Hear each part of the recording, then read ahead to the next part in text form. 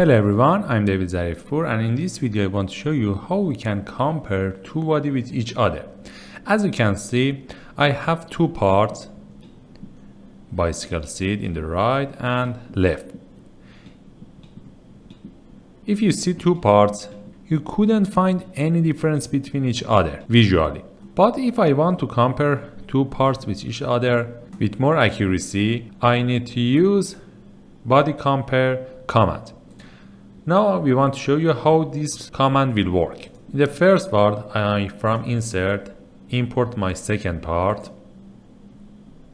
bicycle seat 2. And don't forget, if you want to insert your second part, you have to select planes for four mates.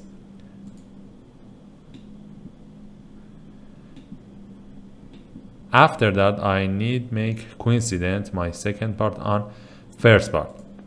For that, I use move and copy commands. From insert features, I select move and copy. For moves to for body to moves, I select my second part and use mate setting. If you couldn't see this option, you have to select constraints. And after that, I make a coincident between major plane in front plane and front plane for my second part. Select coincident mate, add top plane on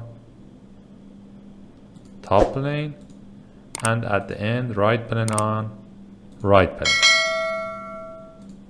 Click OK.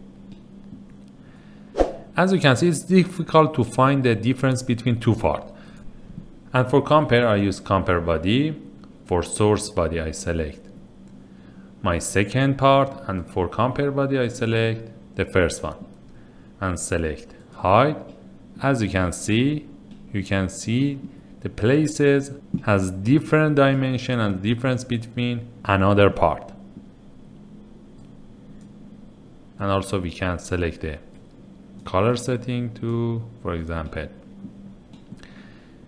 maximum 3.8 millimeters. Also we can change it to less. As you can see here we have a about one millimeter difference between each part. And also here we have a difference about one millimeter for each part. And also we can change the accuracy a bit more to have a better tolerance.